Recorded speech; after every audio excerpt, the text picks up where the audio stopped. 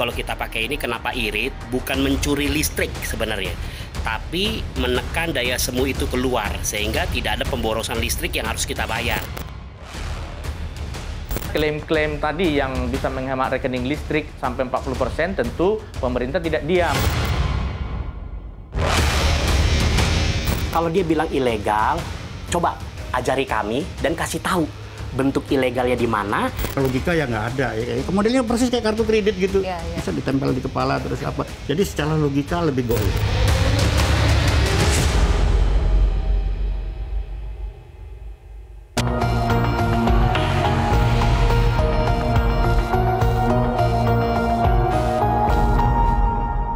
Di pasaran kini menjamur dijual alat yang disebut-sebut sebagai alat penghemat listrik.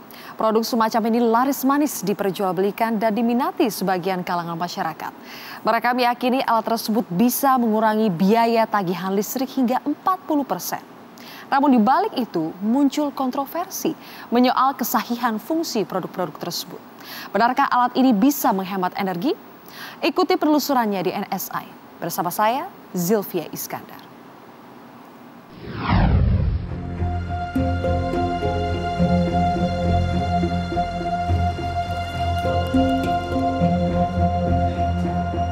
Kan aku lihatnya di bazar mall gitu. Terus dia kayak bikin bikin kayak demo gitu di situ terus kayak banyak orang tertarik gitu. Jadi aku pikir aku punya toko listrik aku kenapa nggak jual juga? Tapi aku belum nyoba sih. Kayak maksudnya belum kelihatan.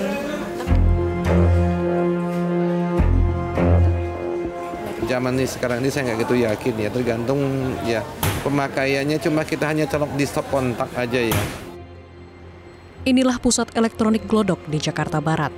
Tempat ini menjadi salah satu surga barang-barang elektronik hingga alat-alat listrik keperluan rumah tangga. Tinggal sebut apa yang Anda butuhkan, semua tersedia di sini.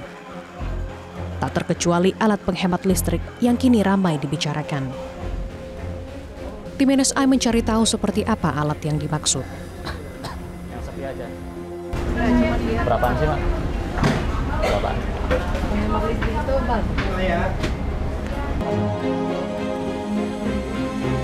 Dan kami mendapatkan jenis ini. Berbentuk kotak dilengkapi saklar dengan kabel listrik agak panjang.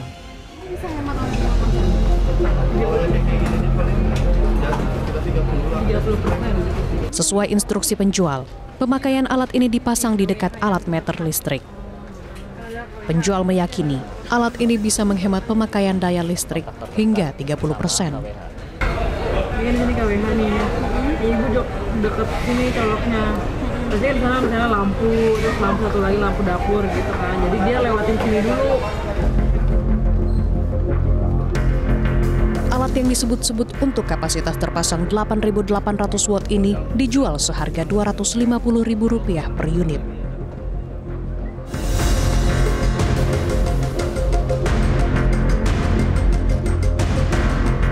Perburuan tidak berhenti sampai di sini. Kami mencoba membeli alat serupa di toko lain.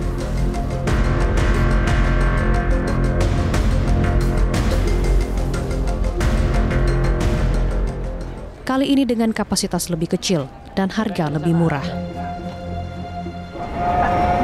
Jadi nggak ke cover semua. Ini isinya apa? Ion apa? Kurang tahu kalau soal dalamnya.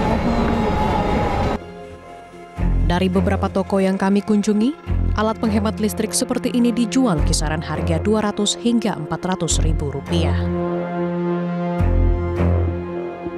Beda kapasitas dan merek, jelas beda harga. Namun yang pasti, para penjual punya satu bahasa yang sama. Tinggal colok jadi kata kunci dari mereka. Tinggal colok aja sih bisa kontak.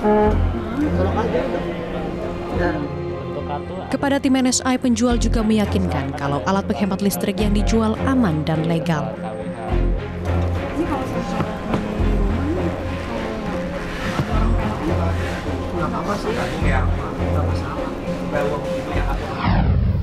Tak hanya di pertokoan, produk penghemat listrik juga banyak diperjualbelikan secara online. Penawaran produk semacam ini menjamur di berbagai aplikasi dan media sosial. Yang terbaru produknya berupa kartu. Mereka menyebutnya sebagai kartu sakti yang diklaim juga bermanfaat untuk kesehatan.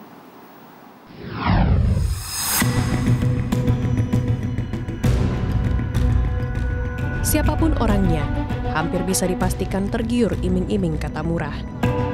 Sudah menjadi kamus umum konsumen, demi harga murah apa pun dilakukan termasuk demi membayar murah tagihan listrik di rumah Anda.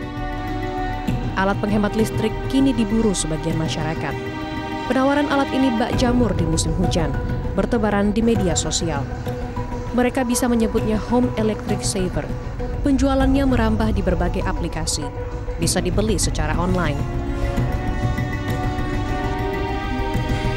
Di salah satu aplikasi layanan jual beli online saja, ditawarkan puluhan hingga ratusan produk dengan fungsi serupa. Untuk urusan harga, tinggal pilih sesuai isi kantong konsumen. Para penjualnya memberi jaminan kalau produknya bisa mengurangi biaya tagihan listrik. Bahkan disebut bisa menghemat tagihan hingga 20 sampai 40 persen. Yang menarik, produk penghemat listrik ini tak hanya berupa komponen listrik, bahkan ada yang berupa kartu. Tak cuma satu merek, dan harganya pun beragam. Dijual dengan kisaran harga di bawah Rp100.000 hingga Rp350.000 per kartu. Tim NSI kembali mencoba membeli alat penghemat energi ini. Kali ini, kami membeli produk yang berupa kartu. Melalui sebuah layanan media sosial, kami lantas bertransaksi. Harga yang dipatok penjual adalah Rp350.000. Kepada kami, si penjual menyebut ia hanya melayani melalui pembelian secara online. Ia mengaku mendapat pasokan produknya langsung dari distributor resmi. Dan inilah kartu yang disebut-sebut berfungsi bisa menghemat energi. Bentuknya menyerupai kartu ATM. Di bagian belakang kartunya terdapat segaris lapisan magnetik. Mirip dengan kartu ATM, namun ini lebih tebal. Kita tes teman-teman. Uh, alat ekstra KTB sebenarnya tembus baja juga. Jadi walaupun masih di dalam kemasan, tapi dia bisa menekan daya semu. Nah, ini yang dibilang daya semu nih. Jadi kalau kita pakai ini kenapa irit? Bukan mencuri listrik sebenarnya, tapi menekan daya semu itu keluar sehingga tidak ada pemborosan listrik yang harus kita bayar.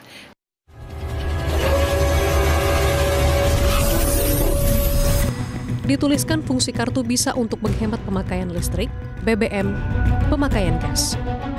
Kartu ini juga disebut bisa mengurangi radiasi akibat pemakaian laptop dan HP, bahkan menjaga kesehatan tubuh. Cara pakainya cukup dengan ditempel.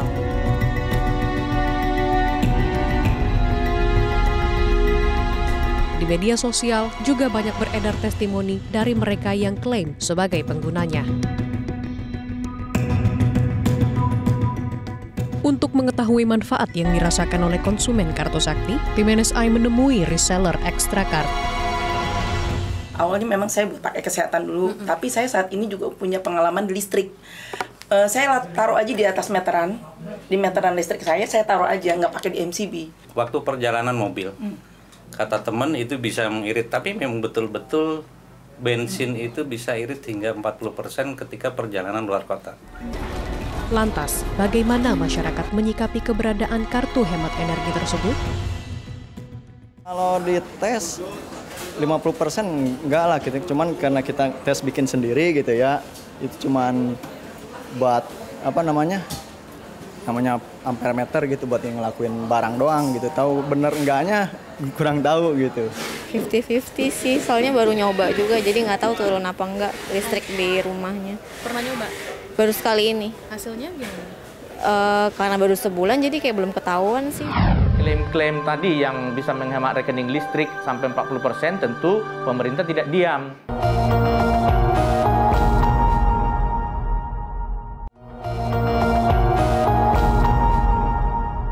Baru-baru ini Kementerian ESDM menyatakan alat penghemat listrik yang marak beredar di pasaran adalah ilegal. Selain tidak mengantongi izin, produk-produk tersebut juga tidak terbukti bisa menghemat tagihan listrik pelanggan PLN. Lantas bagaimana produk-produk ini bisa beredar luas di pasaran?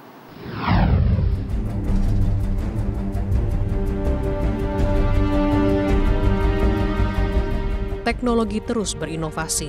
Begitupun dengan teknologi yang berkaitan kebutuhan rumah tangga. Setiap saat, setiap waktu, terus berkembang dengan iming-iming jargon lebih irit, ramah lingkungan, hingga hemat energi.